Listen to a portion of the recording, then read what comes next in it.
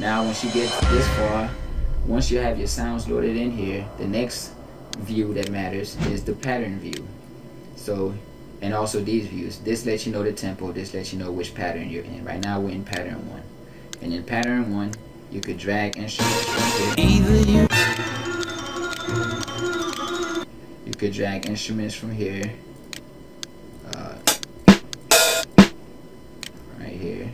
And then now it's available. And every time you drag an instrument, if you click on it, it'll show you the little control screen. So you can see, you know, what the waveform looks like. You could reverse it, normalize, uh, you know, phase stereo. I mean, you could do a lot of things right here. You could also have different control screens. This is all stuff I recommend you just play with and get familiar with. Uh, I'm not going to go through all of this in this tutorial. So the next thing, you could create a pattern right here. Since we're in pattern one, I could I could do this by hand or I could just click fill these two steps. You know. So, and it does it. It has the loop at the end. You have to watch for use loop points. Whenever you see these red lines, that means there's a loop. So if you let it play, they will stack up on top of each other. Take that off, and you're good to go. And also you see the little gap in front. Sometimes I like to take that out. If you want to mess with this waveform, you could go to edit. It's going to pop up your Edison. And usually I just take this off. Then I'll save sample as number two. And it'll be right here, number two. So now I have a new version of it that I can use without that little, you know. And now once you have your pattern, you could fill your pattern like this you have the pattern view or you also have the piano roll which if you right click you can send it to the piano roll. I still have the well, you know you could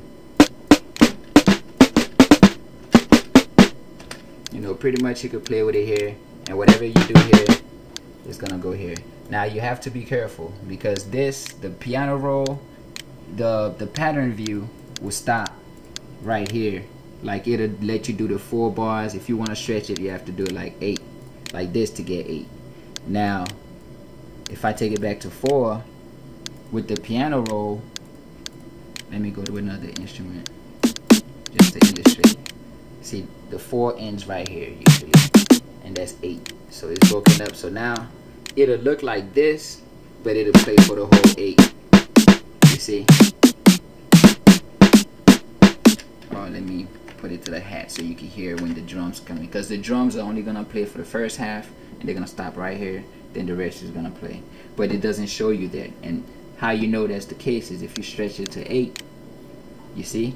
It stretches to the end. If you stretch it further it stops right here. So you know that's how long it is. So you just have to be careful with that. It took me a minute to get a hang of it. Um, but once you do it's real simple okay so that's your two different views to create patterns. Uh, with this one you could fill it in like so use this or control the panning the velocity. The velocity is pretty much the volume so. Pretty simple stuff